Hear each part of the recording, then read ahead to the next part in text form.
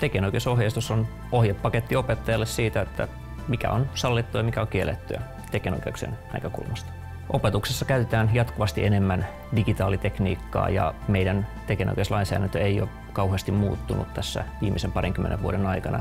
Ennen vanhaa opettajalle riitti, kun muisti numeron 20, montako sivua saa valokopidokirjasta, mutta nykyinen digitaalinen opettaminen on ihan erilainen tekijänoikeussuo ja siitä ei ilman kattavaa ohjepakettia kyllä selviä. Avoimet sisällöt on tietysti helppo tapa oikasta ne monet pulmat, mutta muuten se on melkoinen viidakko.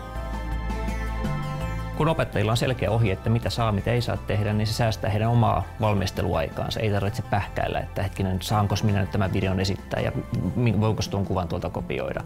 Eli opettajat toimii tehokkaammin ja pystyy myöskin paremmin ja oikeaoppisesti hyödyntämään sitä netissä olevaa sisältöä opetuksessa, eli opetuksen laatukin paranee. Me olemme tehneet tällaisen lyhyen oppaan siitä, että miten tällainen ohje kannattaa tehdä. Siellä on käyty läpi, että mitä selvityksiä pitää, pitää tehdä, mitä linjauksia, mitä toimenpiteitä ja mitä siihen ohjeeseen tulisi sitten, mitä asioita siihen tulisi mainita. Valitettavasti kaikille Suomen oppilaitoksille ei voida tehdä yhtä ohjetta, koska eri oppilaitoksissa on erilaisia sopimuksia käytössä. Eli joka oppilaitoksen on se itse tehtävä. Aloitetaan sille, että selvitetään, mitkä ne olemassa olevat luvat, sopimukset, sopimuspohjat on. Sitten oppilaitosjohto linjaa pari epäselvää tekijänoikeusasiaa ja sen jälkeen sitten ohjeet kirjoitetaan ja hyväksytään.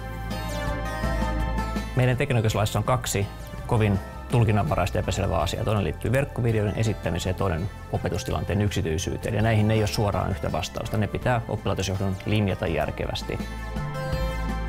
Tällaisen tekijänoikeusohjeen laatimiseen on tosiaan lyhyt opas, joka löytyy opettajan tekijänoikeus.fi-sivustolta aineisto-osiosta. Sitä saa ihan vapaasti käyttää ja siellä on myöskin sitten malleja siitä, miten muissa oppilaitoksissa on näitä ohjeita rakennettu.